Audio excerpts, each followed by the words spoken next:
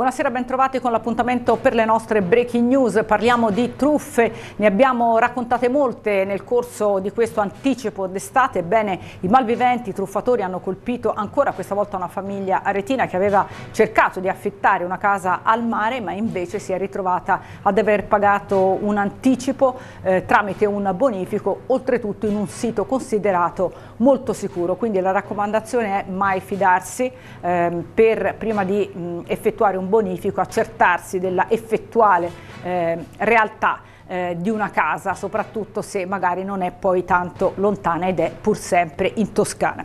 Il Comune di Arezzo ha bandito il concorso per la realizzazione del bozzetto della, per l'impugnatura della Lancia d'Oro della 146esima edizione della Giostra del Saracino, quella che si correrà il primo settembre. Le varie opere dovranno essere eh, consegnate per venire al Comune entro e non oltre le 12 di lunedì 22 luglio. La Procura di Arezzo ha concluso le indagini indagine a carico di due ex sindaci di Cortona, Francesca Basanieri e Andrea Vignini, per la morte di un anziano. L'incidente che ha portato all'inchiesta avvenne la sera del 3 maggio del 2023 a Pergo. L'anziano uscì di casa, cadde in un cantiere morendo due giorni dopo. Le indagini non hanno individuato alcuna responsabilità da parte dei due ex sindaci, prosciolto anche il titolare dell'impresa. Secondo l'accusa le ferite mortali erano state causate dalla ferita ma non sono stati ravvisati legami con l'operato operato dei due ex amministratori. Ed è tutto per le nostre breaking news, grazie per averci seguito e arrivederci.